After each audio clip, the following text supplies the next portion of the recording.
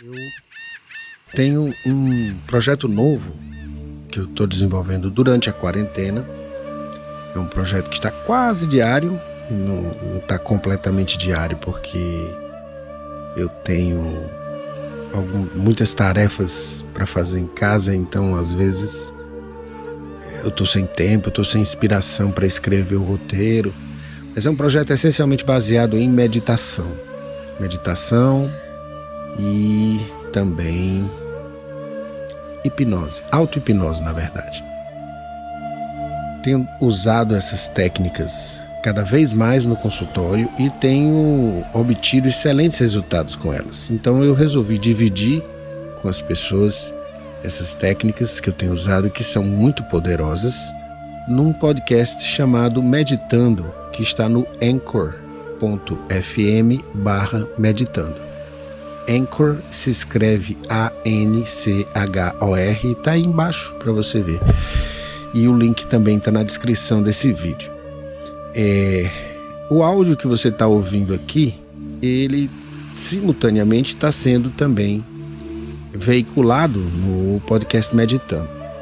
O podcast ele explora a palavra meditar em todos os sentidos da palavra.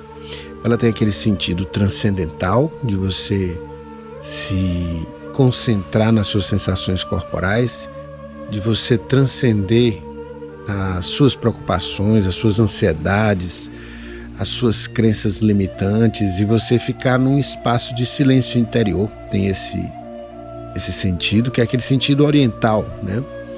Tem um sentido mais ocidentalizado de pensar sobre algum assunto, eu vou meditar sobre tal coisa. Então, frequentemente você vê, por exemplo, um livro chamado Meditações, como o livro de Santo Agostinho, o famoso livro de Santo Agostinho, que nada mais são do que reflexões. Então, meditar também tem esse sentido, mas um dos pais da, da, da, civilização ocidental é Santo Agostinho, né? E ele usa a palavra nesse sentido, no sentido de é, é refletir, né?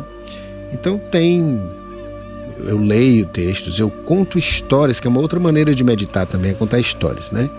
Porque as histórias elas têm um poder de penetrar pelas frestas dos nossos filtros mentais, as nossas crenças, para que a gente preste atenção numa história, para que a gente se envolva numa história, especialmente se a gente tem alguma identificação com o protagonista ou os protagonistas da história, a gente baixa a guarda e quando a gente baixa a guarda, junto com a guarda, estão também as defesas que muitas vezes estão mantendo estados de sofrimento mental. Então, quando você relaxa e baixa a guarda, as, as, através de histórias, por exemplo, você também está meditando, você está deixando entrar em você uma sabedoria que às vezes é ancestral, porque aquela história ela é contada às vezes, as histórias que eu escolho elas são contadas às vezes em formatos diferentes em muitas culturas diferentes. São histórias de ensinamento através da qual a humanidade transmitia conhecimento e sabedoria para as gerações futuras né, é, durante milênios antes da invenção da escrita. E uma vez que foi inventada a escrita, houveram padronizações dessas histórias, diversas padronizações das histórias. Muitas delas estão reunidas em livros como as Mil e Uma Noites, no, do, do, ponto de vista do, do, do Oriente Próximo, do ponto de vista ocidental, nas histórias de Hans Christian Andersen, dos irmãos Grimm, né, que são nada mais do que aqueles camaradas que coligem contos populares, que são orais, e transformam esses contos em coisas escritas, numa obra escrita que se preserva ao longo do tempo né, mantendo a sua forma. Quando a tradição oral avança sem qualquer padronização, como é o caso, por exemplo, em algumas sociedades africanas que não têm escrita, você vê uma tradição oral mais dinâmica no sentido de que ela vai se transformando ao longo do tempo.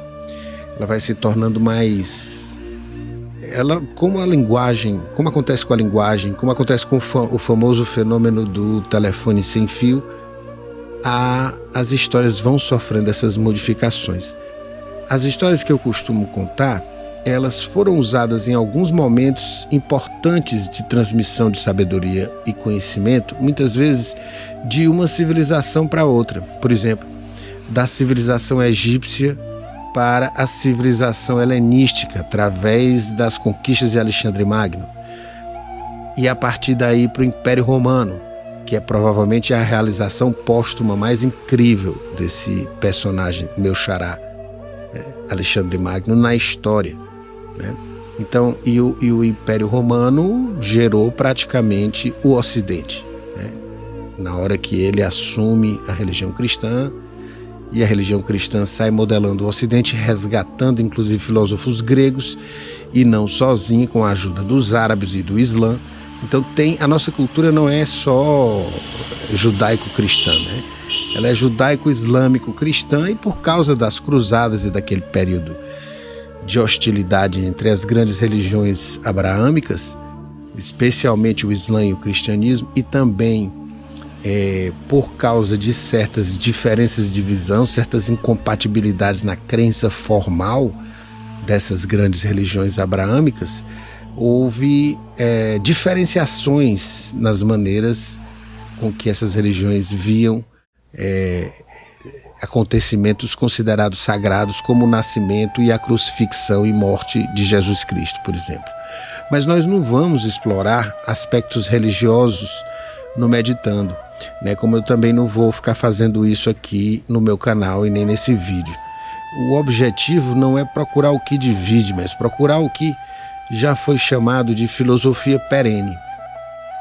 Eu vi o Aldous Huxley se referir a esse termo e eu tinha achado que ele era o primeiro que tinha eh, eh, delimitado esse que tinha cunhado esse termo na verdade, mas eu eu aprendi depois que ele vem de muito antes, né? talvez até é, da Idade Média, porque grandes visionários de todas as religiões abraâmicas, que é, são que é aquela tradição que eu me interesso mais, né? eu tive algum contato muito pouco com o budismo, com o taoísmo, leituras muito superficiais as leituras que realmente me envolveram de maneira mais integral, elas são relacionadas ao cristianismo e ao islamismo, menos ao judaísmo, embora o cristianismo esteja infundido de judaísmo também, dentre, dentre outras coisas, né? dentre outras é, crenças que inclusive sobreviveram ao Egito.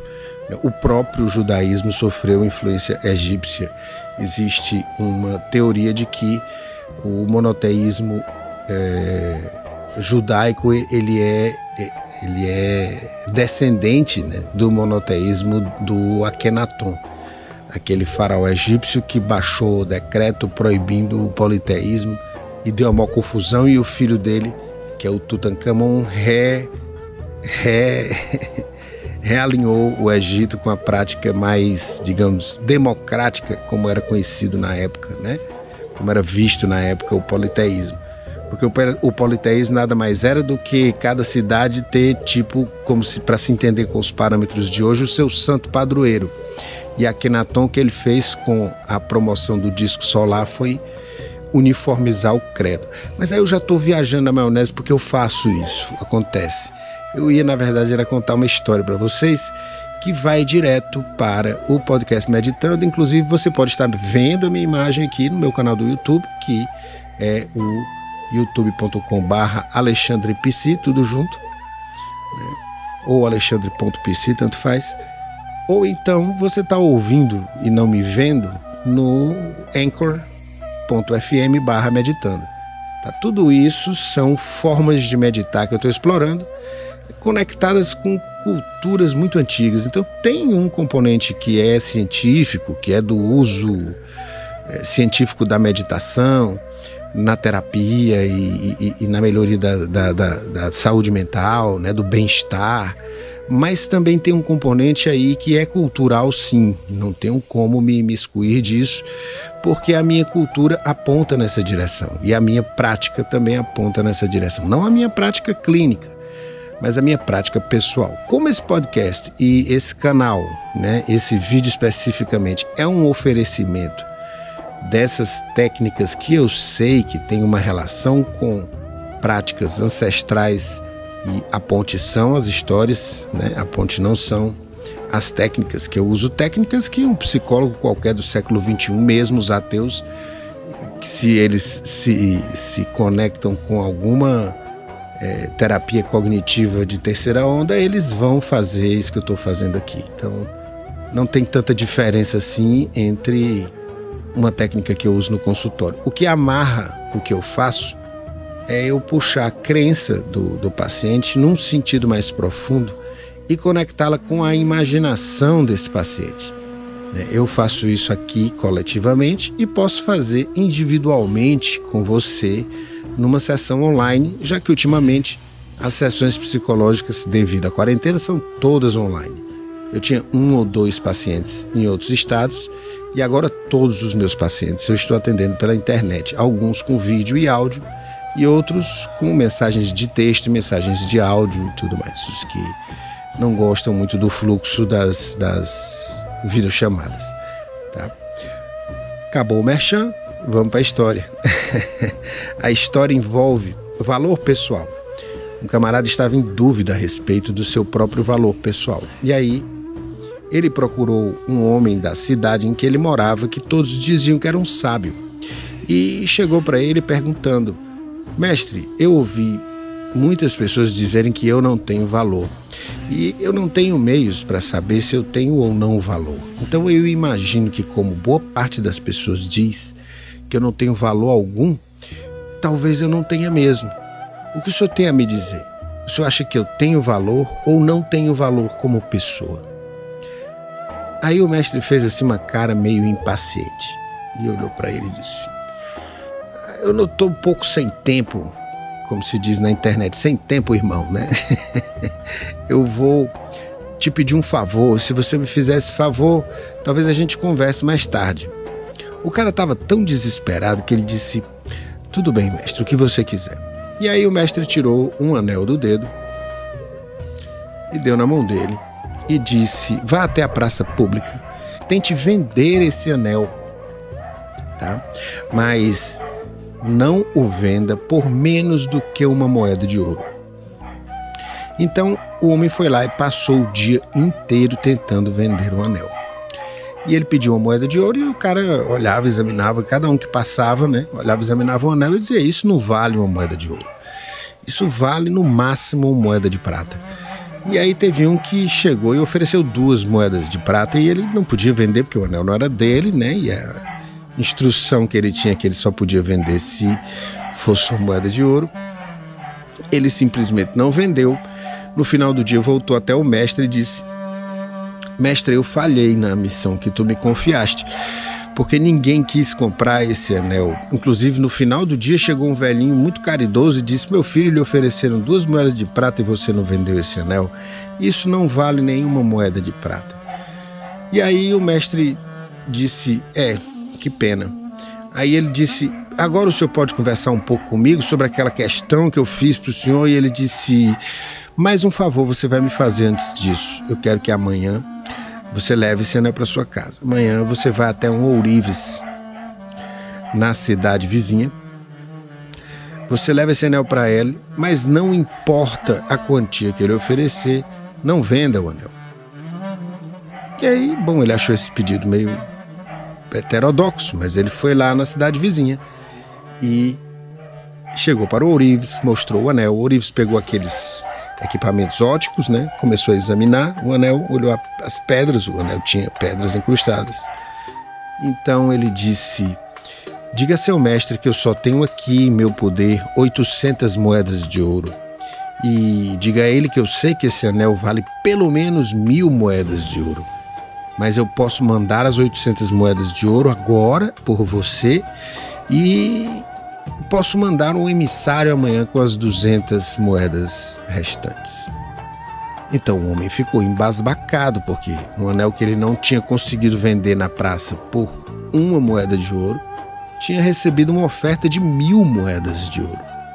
Aí ele voltou intrigado para o mestre, entregou o anel e disse: Mestre, o homem queria oferecer mil moedas de ouro. Ele disse: Você não vendeu, né? Ele disse: Não, não é meu o anel. Ele disse: Está bem, pegou o anel, guardou e disse: A mesma coisa se aplica ao seu valor pessoal. Por que diabos você acha que qualquer idiota tem condições de atestar o seu valor pessoal? Apenas um especialista é capaz de fazer isso. Então veja, essas histórias, quando você se identifica com o personagem, elas falam com você. Se você gostou desse vídeo, gostou desse episódio do Meditando, eu vou usar o mesmo áudio, tá? Compartilhe, diga para os seus amigos, tá? Compartilhe o vídeo, compartilhe o áudio. Tem gente que gosta mais de ouvir, tem gente que gosta mais de assistir, certo? É